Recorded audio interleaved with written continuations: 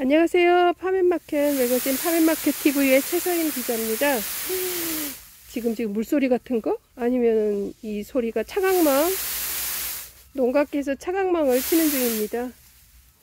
와우. 여름에 더울까봐 점점 뜨거워지고 있어가지고 오늘 제가 농가를 왔는데요. 이파리가 황금색입니다. 황금. 너무 이쁘지 않나요? 크기는 종이포트 사이즈. 이거야말로 테이블에 어울리는 꽃인데요. 너무 이쁘지 않아요? 어우 난 너무 사랑스러운데. 음.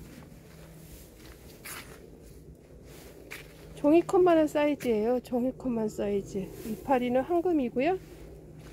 어, 꽃들도 다양합니다. 마젠타색 스트라이프 yellow. 어, 꽃대도 두대. 어, 이쁘네요 엄청. 저쪽 온실은 좀 다른 것도 있었는데. 얘네들도 지금 준비 중인 것 같아요. 다 꽃대가 두 대씩 나왔네요 음. 보세요. 종이컵만 하잖아요. 종이컵만 한 사이즈 아유 얘는 두치포트야 뭐야. 엄청 귀여운데요? 음, 얘네들 보세요. 와우.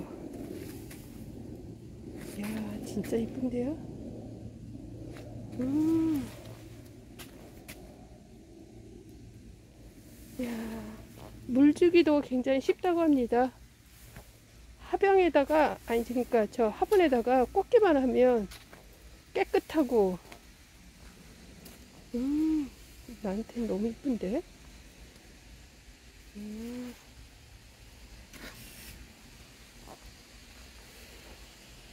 저쪽 원실에는 옐로우가 있었는데 진짜 종이컵만 하죠 음. 황금색 황금 이파리